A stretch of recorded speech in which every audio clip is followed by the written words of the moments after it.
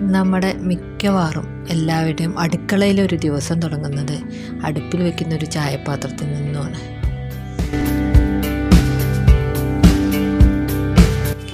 ചായക്ക് വെള്ളം വെച്ച് പഞ്ചസാര ഇട്ട്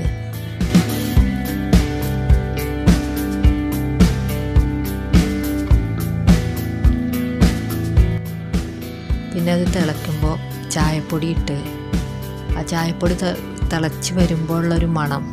അത് വരുമ്പോൾ തന്നെ മനസ്സിലേക്ക് അറിയാതെ ഉന്മേഷം കയറി വരും. ഒരു കപ്പിൽ പാലെടുത്ത് അങ്ങോട്ടും ഇങ്ങോട്ടും ആറ്റി ആറ്റി കുറിക്കുക ഒരു അടിപൊളി ചായ. ചായയെ പ്രണയിക്കുന്ന എല്ലാവർക്കും ശുഭദിനം ശുഭാരംഭം.